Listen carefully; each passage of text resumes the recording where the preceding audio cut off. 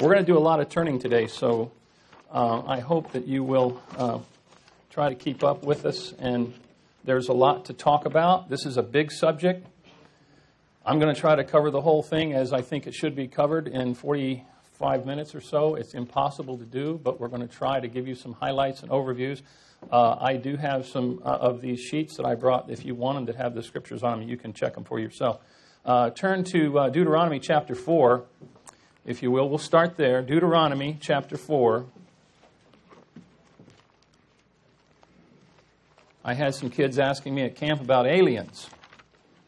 Everybody's talking about giving up on planet Earth because they don't think they're going to be able to save it. and they're already headed towards Mars. You know, they're going to go out there and see what they can find. I told this one young man, uh, I said, There's nobody out there. He looked at me and he didn't believe it. I said, No, there's nobody out there. I said, None that you can see, anyway. Uh, Deuteronomy chapter 4, and look at verse 1 and 2. Verse 1 Now therefore hearken, O Israel, unto the statutes and unto the judgments which I teach you, for to do them, that ye may live, and go in and possess the land which the Lord God of your fathers giveth you. Ye shall not add unto the word which I command you, neither shall ye diminish aught from it, that ye may keep the commandments of the Lord your God, which I command you. Three times in your Bible, statement is made about don't mess with my word. God's word is equal to himself, and he means that. And when he says this right here, he says the same thing over in Proverbs 30, and he says the same thing in Revelation 22, and you can look those up and see it. In the, in the beginning, in the middle, and the end, God says, Do not mess with my book. Those are three important warnings for everybody that messes with God's book. And when you do that, you're, you're in danger, for you as a saved person, you're in danger of a problem that could occur for you at the judgment seat of Christ because part of your service is not to correct, condemn, or criticize God's word, and especially not to corrupt it. Okay? So that's really important. You don't mess with the word of God. Satan does those things, that's his job. Uh, Eve did that a little bit, kind of innocently in, in some, to some degree. She started adding to it. Right after that, Satan comes out and flat out lies about it to her. And she was deceived. And so uh, we're in the mess we're in because somebody did not believe God's word and they messed with it. So that's just the kind of the, the, the thing we should think about. Uh, you, you understand that these things, uh, turn over to Romans chapter 4, these things are important enough for us to know where the Bible is. Finding those words of God have really been the dilemma of Christendom. They, they will tell you that the Bible is plenary, it's verbally inspired, and there it is. We believe that. Plenary verbal inspiration, they believe it. The problem with it is they don't tell you where to find the words because they don't understand the concept of preservation. And we're going to look at that a little bit today. The idea of inspiration uh, is God's idea. It's the manifest way that He puts His words onto the paper through human authors. And uh, there are some fantastic verses, and there's so many that I had to just take a sampling because there's just there's too many of them. Uh, I, I, really enjoyed going through and studying this and uh, and revisiting some of these things, and it just it brought to my mind all the things um, really that I had uh, learned over the years, especially through GSB.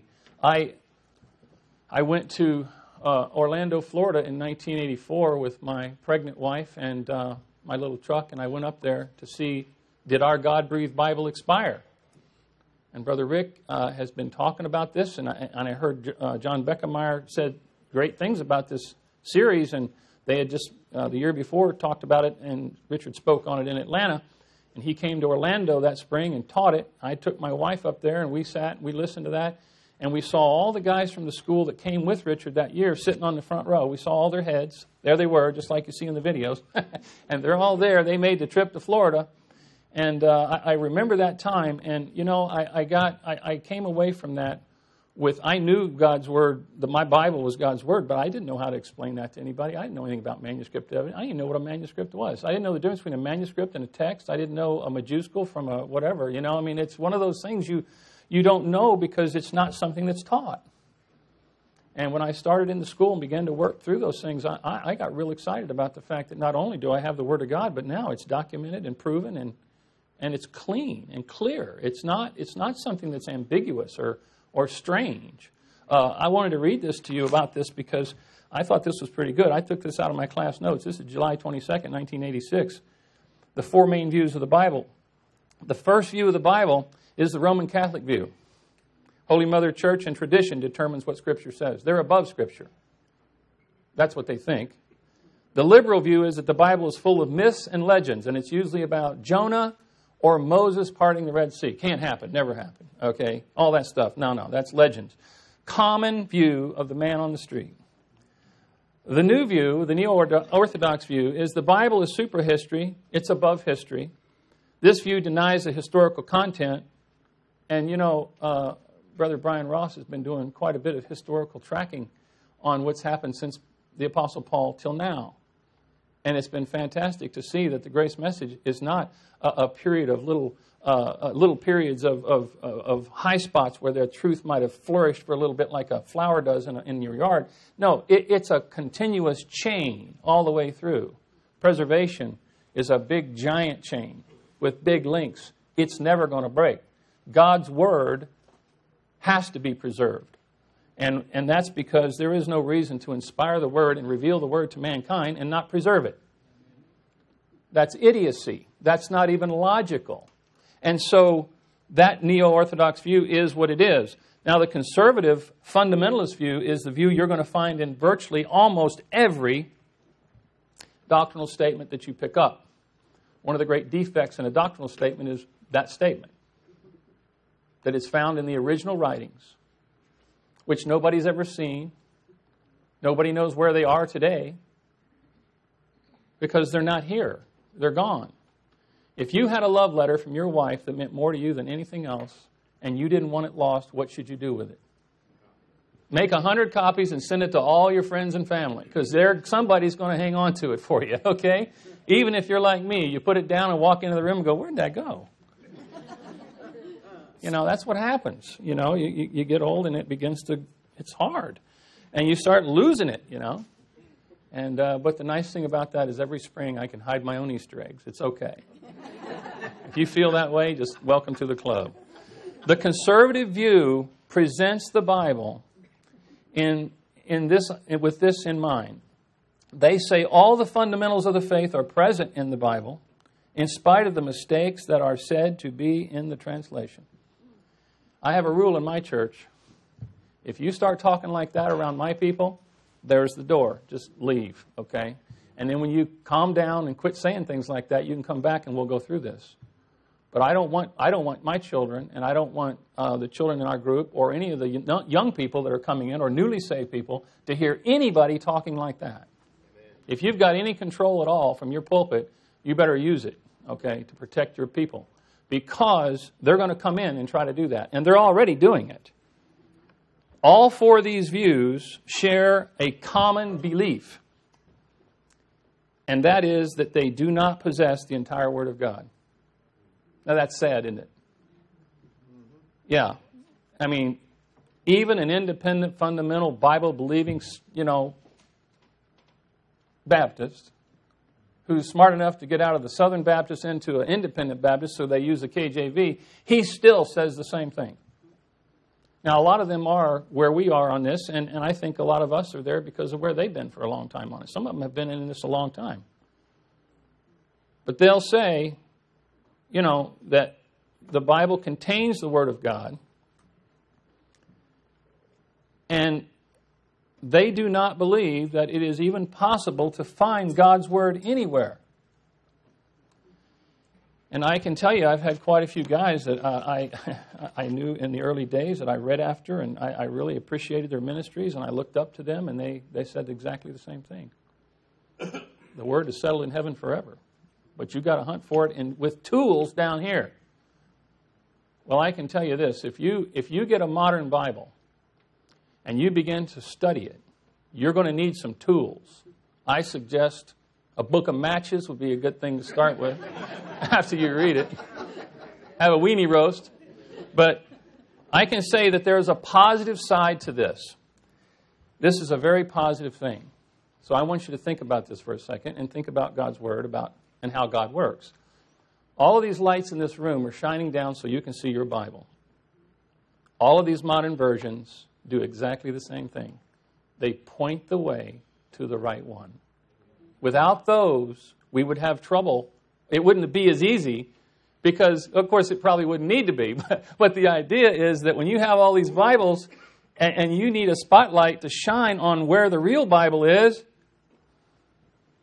they'll do it every time. They are missing thousands and thousands of correct renderings, meaning the changes. They're, they're just missing, they've just been retranslated. Thousands and thousands. They're missing hundreds and hundreds of verses. Two, three hundred, easily. I have a list at home that we compiled at Suncoast, and it's that thick in a notebook of the five top selling Bibles in the United States. And every word from Matthew 1 1 to the end of the book of Revelation, every single verse went, was gone, we went through it. And we not only showed the, those verses that are omitted, but we showed those verses that are partially omitted and those words that are partially omitted, uh, that are just out of the verse. When you go to Colossians chapter 1, verse 14, and it says that, you know, well, let's just turn there. I'll just show it to you. Uh, this is. Um, I'm, I'm studying through the book of Colossians right now and teaching it, and uh, this verse has always been a big deal. I, I, to me, I think it's one of the most beautiful verses, and I, I, love the fact that I got it twice in my Bible. It's in Ephesians chapter 1, verse 7, and it's here in Colossians chapter 1, verse 14. And I had a conversation with a man about this thing, and he said uh, in verse 14, it says, In whom we have redemption through his blood, even the forgiveness of sins. Now, there's only three times in Paul's epistles that redemption by blood is mentioned. It's here, Romans 3, 25, 24, and 25, and Ephesians 1, 7. Those three spots give you something to use when you want to talk about the blood. In Evangelism Explosion back in the late 70s, when uh, I was in a small group of about nine or ten people, they, we, they got into Evangelism Explosion from uh, D. James Kennedy down in Coral Gables, and I, I bought two of those books. I thought, man, I'm going to learn how to go out and win souls. I got into the ministry, I got in, involved in the Word of God by not being able to, to, to, to correctly give the gospel to some Catholic girls that were wanting to know about more about the Bible, and they were asking me questions, and I didn't have them. I felt uh, this was the dumbest thing. I've been saved since I was in the first grade. I, I didn't understand. I'm giving them the gospel. That's all I had. And so I told my dad about it. He says, Well, maybe we should sit down and look at some of these things and start studying. That was the beginning for me. And this whole idea of taking verses out of the Bible is satanic. It's part of the satanic policy of evil against God's word. And uh, in verse 14, that verse is missing in almost all the modern versions. And I had a man talk to me about that. He says, Well, it's over in Ephesians 1 7, and that's the companion book. So if it's over there, what's, the wrong, what's wrong with it not being here. I said, the fact that it's over there and it's a companion book of Colossians, or com- the other way around maybe, I said, that's the reason it should be there. I would determine if it was not there that it should be because, you know, it's there. They just don't use the correct text to get it. If it's not in the text, it's not going to make it into the translation because that's, that's easily left out. You can't do something with somebody with a verse if the verse isn't there. And how illogical is it for you to take the verse and stick it into a, a, a, a, paragraph as you translate and then turn around and say, well, there's a gap there. So what do you do? you got a bigger gap now, and now the context's all messed up. How are you going to deal with that? I got a Phillips Goodspeed Bible at home that actually goes in 1 John 5 7. it, they, they take it out. In all the modern Bibles, that verse is gone. Great deity verse. 1 John 5 6, 1 John 5 8. Where's 7? Well, they got wise after somebody said, 7 comes after 6. Probably a five year old told them that. And then what happens is, well, they get wise about it. And so now, as they reconstruct these new Bibles, they just take a verse before it or a verse after it and they split it into two verses. They can just slide it and then put the numbers so all the numbers keep working. If you mess the numbers up, can you imagine taking big chunks out of the book of John like they want to do and try to do, and then try to figure out the context as you're reading along? You go, What? That doesn't make any sense. You can't take things away from the Word of God. You can't do it because it's always going to be there because this is God's Word. Romans chapter 4, Paul says this, verse 1 What shall we say then that Abraham our father, as pertaining to the flesh, hath found? For if Abraham were justified by faith, he hath whereof to glory, but not before God. Verse 3. And then he makes this appeal. He uses this verse twice here in Romans 4 3.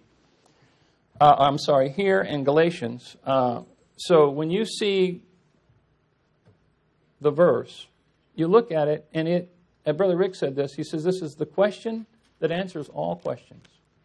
Any question you have about the Word of God, or any question you have about life itself, is answered by this question What does the Scripture say? There's great validity in that. There's great comfort in that. Especially if you come to the point where you've gotten saved and you come to the knowledge of the truth, and now people are trying to take your Bible away from you. Don't let them do it. You can't do that. There are two things, the number one and number two things that you need in your life is God's Word and the Holy Spirit inside of you to teach you that Word. You need to get saved, you need to get established in the faith, and you need to get to work. That's the job. God's book in you. See? For you, in you, through you. He's going to work that way. God's book and God's people. The design for this is so simple in Romans 16 25 and 26. Uh, Ted was covering that beautifully last night, how it shows the gospel and, and it shows the mystery and it shows the other scriptures.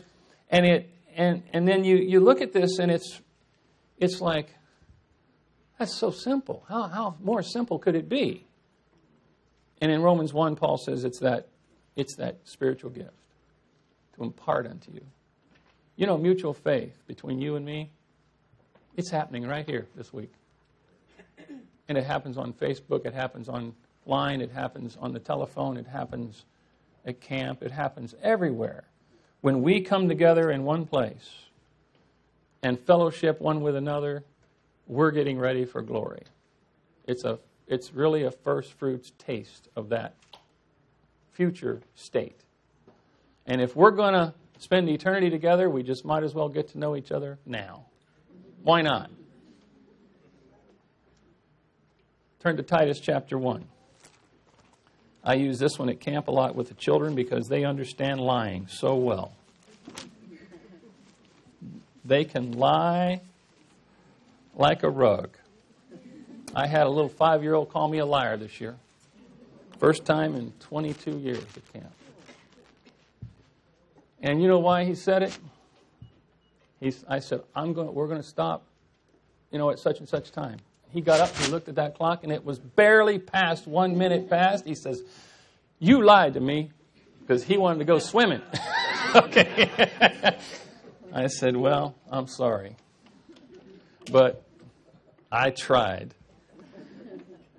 Titus chapter 1. Paul, a servant of God and an apostle of Jesus Christ, according to the faith of God's elect and the acknowledgement of the truth which is after godliness he says, in hope of eternal life, which God that cannot lie promised before the world began.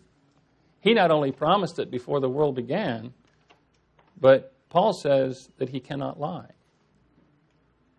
In Hebrews 6, it says it's impossible for him to lie. That's why he cannot do it. It's not within his nature. God couldn't lie if he wanted to. Later on in the book, we find out that he can't die either. This is fantastic. What kind of a God would put together a book and throw it to the wolves and just let it get chewed up? What is that? What's the point of that? There is no point in it. The fact is, there's one God and there's one Bible. Now you have to find it. Most of you here have already done that. Some of you are maybe interested in trying to do that. But you have to approach God's Word with a believing heart, not with a skeptical heart. So take all that skepticism and all that, uh, you know, new thinking and chuck it out the window. These kids, uh, turn to Deuteronomy chapter 4. These kids at camp were, you know, they, they want to they want to be like Stephen Hawking's and be smart. And uh, they, out of all the theoretical stuff that Stephen Hawking's has put out, and Carl, what's his name, the Sagan, is billions and billions of years. He's going to learn about billions of years. He's already probably figured that one out. But Deuteronomy chapter 4, as you go through this, uh, I said, There's nobody out there, and there are no aliens. Don't believe Star Wars movies, Star Trek movies, and all those kinds of things. Those are just rubber suits. Forget it. They don't exist. There's nothing out there. If you go out there, you'll see so much order in the universe that it's unbelievable. You'll even see some godly humor out there where the planet Uranus goes the other way. It's on its side and goes backwards. What's that all about? The fact that Halley's Comet comes around and makes a 100 year circuit through our galaxy and never hits anything big enough to destroy it for many, many years. And it comes around like the clock, and everybody wants to see it. It's a rare thing. How does that happen?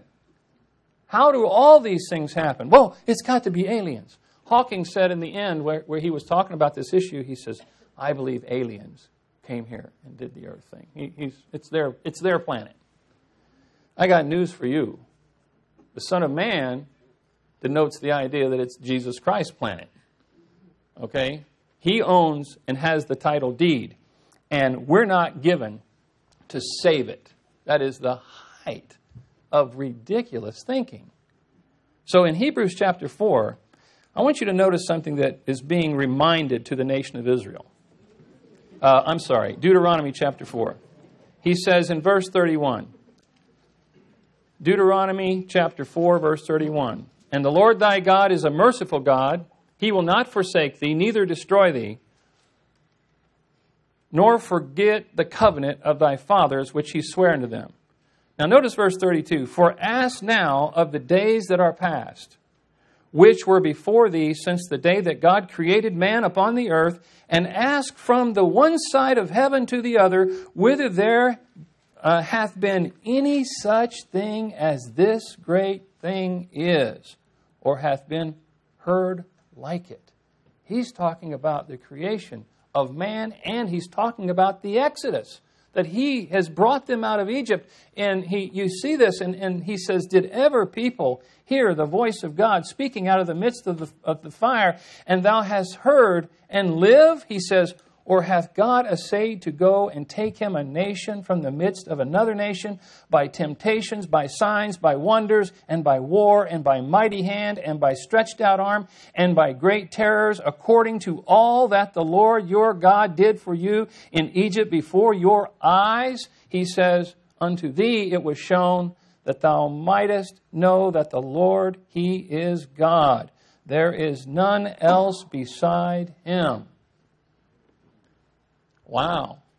You know, that doesn't sound like a guy who fumbles around and can't keep a book. Does it? No, it doesn't. So when we talk about these things, the reason I mention that, if you need an alien verse for the kids, is that that's a reason. There's a reason being preached today by the world system that takes people away from the Word of God and starts getting them into the fantasy world. And that's why they don't believe it. And it doesn't matter whether they believe it real strong or they hold it weakly. But if they die without believing Christ died for their sins, they're going straight to hell. And that goes for kids too. So you don't, you know, the, the, the, lives and the souls of men, women, and children are at stake in this. So if you're going to preach or you're going to be a, a, a Christian that goes out and does the work of the ministry, and you should be, you have to have a book. You have to have the sword of the Spirit and have the understanding of how to use it. And it's not complicated.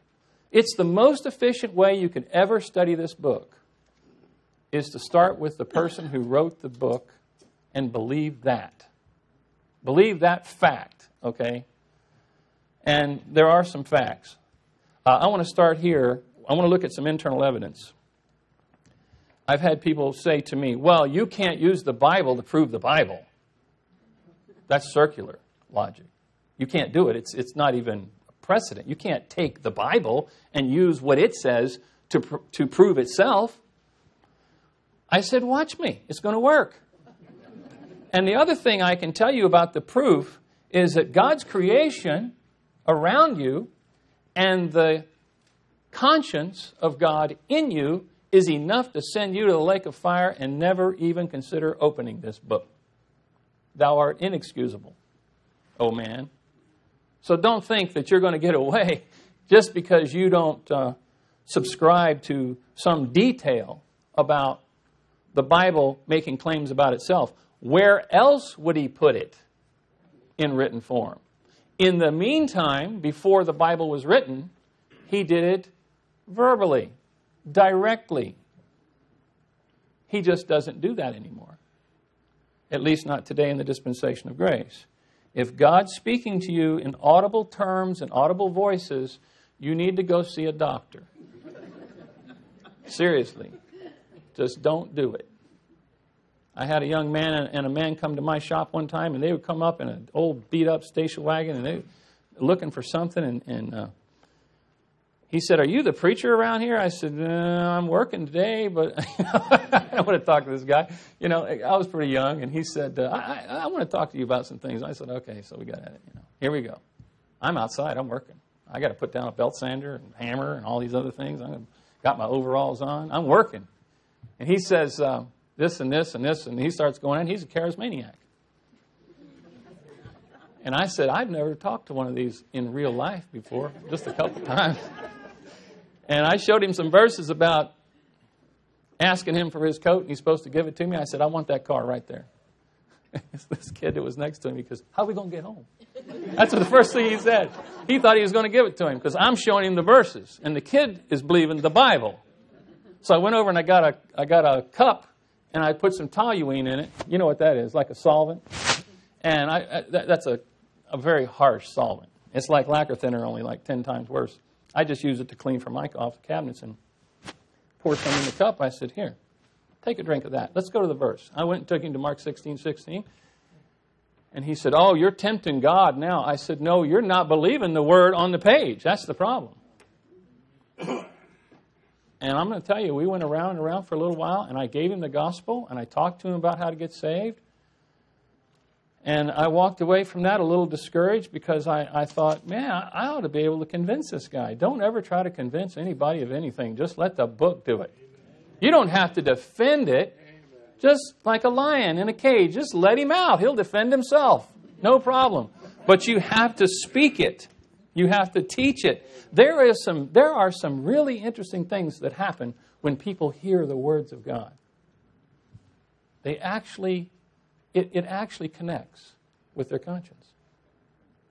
And they get convicted. And they want to know. If you'll take a group of kids out into the woods, or take them out into the mountains, or take them out in the Gulf of Mexico, whatever, and you get them out there and you, you show them the natural world, they really want to get closer to this. They really like seeing this because behind every great design, there's a great designer, right? And we have one. And he wrote a book, and he wrote one book, not a bunch of them. Let's take a look at what Paul says. Paul's our apostle, and he magnifies his office. So we'll start there. All of Paul's epistles begin with his name, Paul. There's your sign right there. 13 letters with 13 signatures, the first word, Paul. Okay? Turn to 1 Thessalonians chapter 3. Now, I know this is simple, basic information, but it is useful. 1 Thessalonians chapter 3. I'm sorry, Second Thessalonians chapter 3. I always get those mixed up. Second Thessalonians 3, verse 17. The salutation of Paul with mine own hand, which is the token in every epistle. There you go. There's your token sign. You want to find Paul's epistles? Romans to Philemon. Now, Paul teaches that what he spoke while he was preaching as the Word of God to the Thessalonians, turn back to chapter, uh, turn back to 1 Thessalonians chapter 2, he says that those things that he was preaching while he was there and out preaching and doing the work of the ministry was received as the Word of God before it was ever committed to paper, as far as we know. Verse 13, but we are bound to give thanks. 2.13, 2 Thessalonians, or uh, 1 Thessalonians, excuse me, 2.13. He says, For this cause also thank we God without ceasing, because when ye received the word of God, which ye heard of us, ye received it not as the word of men, but as it is in truth, the word of God which effectually worketh also in you believe. Oh, there's another piece of evidence other than just the conscience and the creation. How it works and changes the lives of people. So when you see the Word of God working in somebody, there's evidence of it. When you see the evidence of the Holy Spirit in little David when he takes a rock and goes after Goliath, he didn't go after Goliath.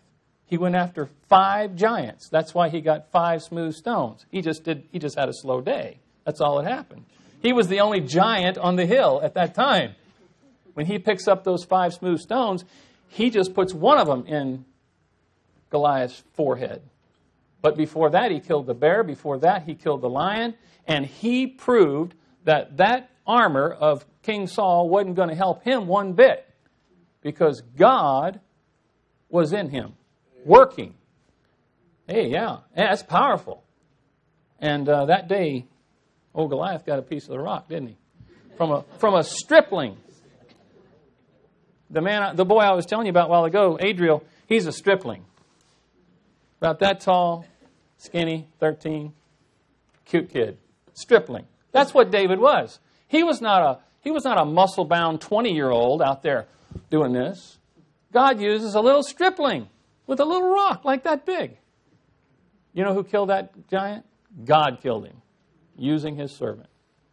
And so when you see the word working mightily in people like Samson and David and, and Joshua and people like that, it's just fantastic. And you say, well, something's going on there.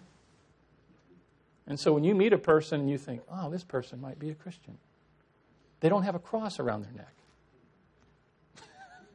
you ever seen people trying to identify themselves that way? You know, they put a cross around their neck when they're openly atheist.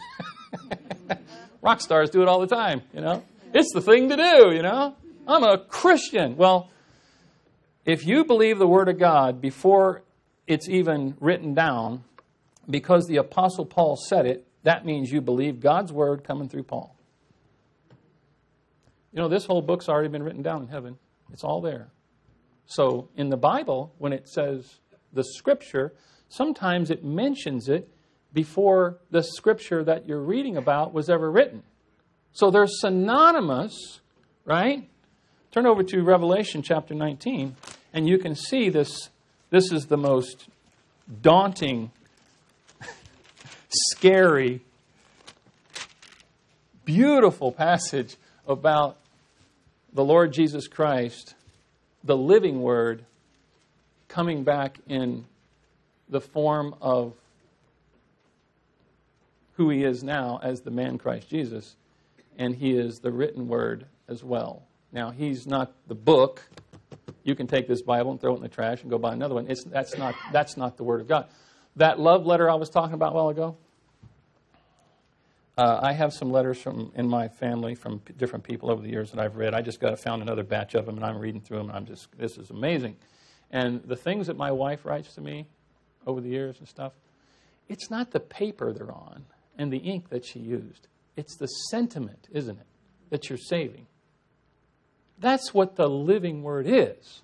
It's what's being said, and by the person that you know is saying it, that's how it lives in you. It is the living word.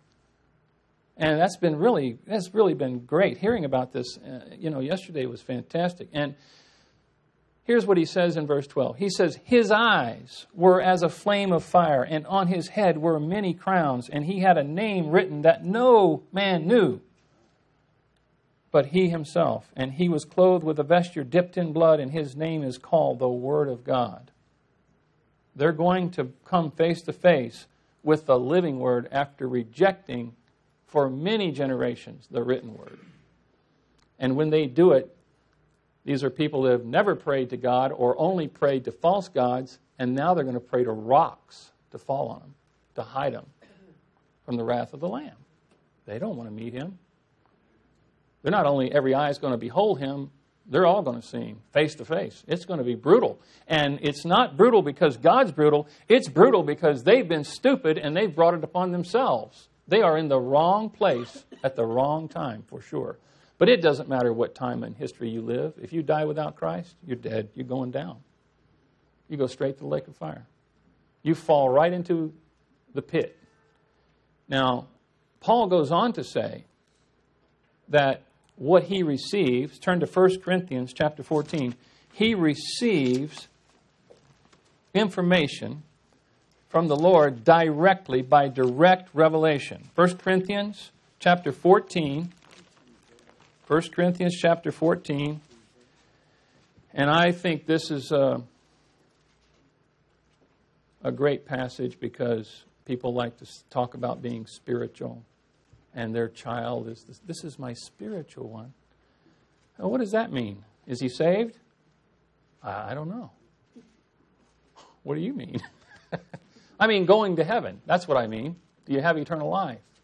See, this spiritual thing starts with the cross around the neck and then it goes on to other things. But I can tell you, if any man, verse 37, think himself to be a prophet or spiritual, 1437. If any man thinks that he's a prophet or spiritual, let him acknowledge that the things that I write unto you are the commandments of the Lord. But if any man be ignorant, let him be. Just let him be ignorant. You can't, you can't deal with people like that other than the fact that you can try again some other time. But men, men make up their own minds because they got a free will. These revelations, like he says in 1 Thessalonians 4, he says, This I say unto you by the word of the Lord. And uh, turn one more, go over to book of Galatians, uh, just a couple books over, one book over here, and just look at this. This is beautiful.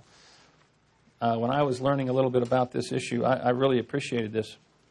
Um, Paul says, we were talking about this at breakfast, verse 10. He says, For, for, I, for, do, for do I now persuade men or God? Or do I seek to please men? For if I yet please men, I should not be the servant of Christ.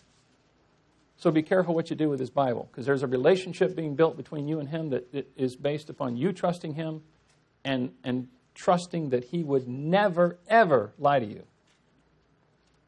You know what happens if, if we could prove that God was a liar from the Bible? We'd all have to just chuck the Bible and forget it. But it's not there. People like to say it's there, but it doesn't exist. God says he's not like a man that he should lie. Paul says, Ye let God be true, and every man a liar. And all liars are going to the lake of fire. So here he goes on, he says, But I certify you, brethren, that the gospel which was preached to me is not after man, for I neither received it of man, neither was I taught it. And he means by man, but by the revelation of Jesus Christ. I will come to visions and revelations. So when you begin to understand some of these things, you want to get a little deeper into it. And so, how do we get the profit out of the Bible? Turn to 2 Timothy chapter 3, or chapter 3, 2 Timothy chapter 3, and we'll look at 2 Timothy chapter 2. Compare these with, the, with somebody sometimes. Lock these two verses together. Paul had the scripture, Timothy had the scripture. It was already working. It was already there for him to have. If Paul tells you to rightly divide the word of truth and he tells that to Timothy, then what would Timothy divide the word? How would he do that? How could he rightly divide the word, divide this truth from that truth, if he didn't have all the other books? If I tell you to rightly divide the Old Testament from the New Testament and you don't have the Old Testament, you say, What are you talking about? See, you have to have it all before you can rightly divide it. That's assumed. He also says in 2 Timothy, he says, rightly dividing the word of truth, God would never tell you to do that if you didn't actually have the word of truth. 2 Timothy chapter 3 verse 16 he says all scripture is given by inspiration of God and is profitable for doctrine for reproof for correction and instruction in righteousness that the man of God may be perfect truly furnished unto all good works perfected unto service and uh, Brother Ted showed the content last night. It was beautiful how, how Paul's epistles are laid out in, in a certain order, just like the Bible is laid out in a certain order. And so you begin to look at this and, and wow, there's a lot of thinking going on here, and it's not me. I'm just trying to figure it out. God's the one that lays it out for me. And people are striving and they're doing all these things. Turn over to 1 Timothy chapter 6 while we're here. And I want you to notice that when Paul talks about this in context, if you have a, a blank page in your Bible between the Old Testament and New Testament, you got a commentary there. That, that blank page, it says New Testament and nothing else, or maybe it just might be a blank page. That's a commentary that there's a divider between Old Testament and New Testament, and that's a lie. There is no division between Malachi and the book of Matthew. Okay? That's a lie. If you've got red letters in your Bible, That's a lie. That's a commentary. That's, that is you seeing a very mild form of corruption. That's you seeing somebody messing with the color of a word and trying to shift your attention over to the words of the Lord Jesus Christ in the historical books that are to Israel and those books in a different group, and different dispensation, to, to take you away from what? These words over here. Well, Paul says, look, he talks about this in second, uh, 1 Timothy 6. He says, If any man teach otherwise, talking about the doctrines of grace and the, the, the revelation given to him, if any man teach otherwise and consent not to wholesome words, aren't all the words of the Bible wholesome? Yes. The form of sound words. Aren't they all sound? Yes. But only the ones written directly to you and about you can be that way for you because if you don't rightly divide them, you're going to find yourself trying to drink toluene, okay? I met a guy one time uh, that, that drank Drano as a charismaniac. Him and his wife both drank it. His name was Saul. And I went and met Saul. Alan Reagan took me to meet him, and I went and talked to him, and he couldn't talk. He was talking like that.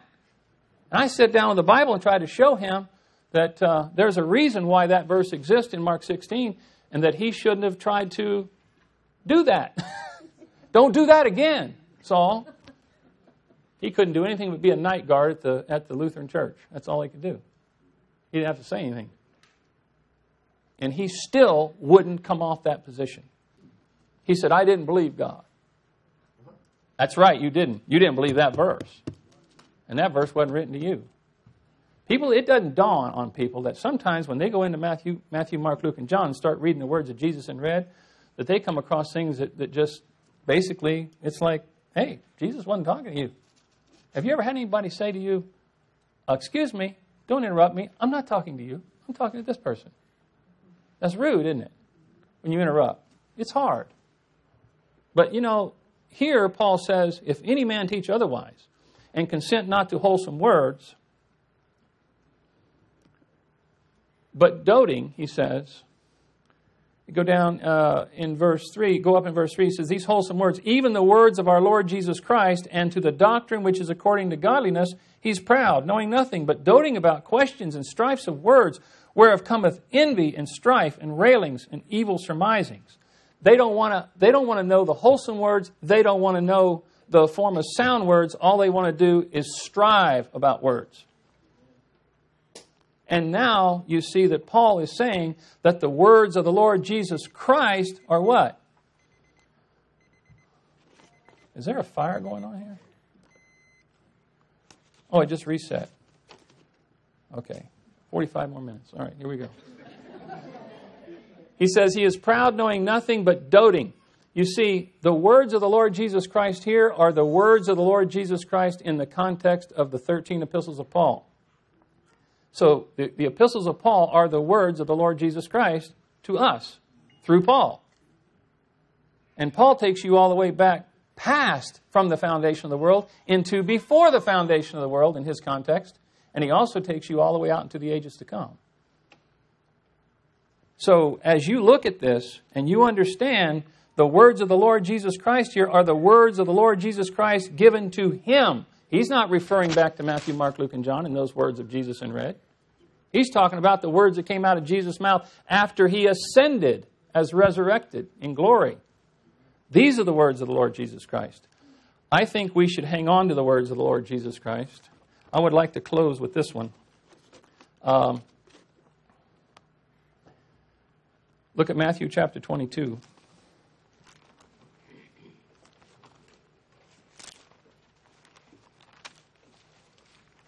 And there's so many of these. Uh, I'll put these sheets out on the table if you'd like to pick one up and, uh, and have some of the verses to go home and look at. Matthew 22, 31. Uh, this, was, this was really a great verse. When I, when I first saw this verse for the first time, uh, I, I just had, I just, it was just sending chills down my spine. I thought, you know, this is great. This is great. We're actually seeing the mechanics of how God treats and deals with his own Bible. Verse 29 Jesus answered and said unto them, Ye do err, not knowing the Scriptures, nor the power of God. Verse 29 For in the resurrection they neither marry nor are given in marriage, but are as the angels of God in heaven. But as touching the resurrection of the dead, have ye not read that which was spoken unto you by God? He's talking to them about the copies that they now possess at this particular time in the first century and mm-hmm. they are in possession of the scriptures, and he says and calls them the scriptures. He does the same thing with the Ethiopian eunuch over in Acts 8. He was reading from the scriptures. Now, did that, did that eunuch pass by Nazareth and go into that synagogue and steal that scroll and have it out there in the desert when Philip walks up to him? No. There's copies everywhere. And he says that that copy is the Word of God. The copy. Where were the Ten Commandments after they were broken? In the trash. They got a new set made. God made them a new set. And that was the set that was put in the Ark of the Covenant. Not the broken crumbs. You know, that, there's a great lesson here. He says, That which is written unto you, have ye not uh, read that which was spoken unto you, excuse me, by God, saying, I am the God of Abraham, the God of Isaac, and the God of Jacob. God is not the God of the dead, but of the living. And when the multitude heard this, they were astonished at his doctrine. You know why they were astonished at his doctrine? Because they had never heard this before. He did not speak like the scribes spoke, he spoke with authority, it says. They had no idea where the Word of God was. And they didn't care. And when he walks up to them and begins to talk to them, they just called him names. And they're going to live with that for a long time. You know, forever is a long time to be wrong, isn't it? I'm glad I'm saved. I'm glad I got a book. And I'm glad I know a group of people that got one as well. So let's have a word of prayer. Heavenly Father, thank you today for your word, and we thank you for all that we have in your Son, the Lord Jesus Christ. We thank you for the Word of God that can effectually work in us that believe it and trust it, and that we should not correct it or speak evil of it or condemn it in any way. We thank you, Lord, for it. In the name of the Lord Jesus Christ, we pray. Amen.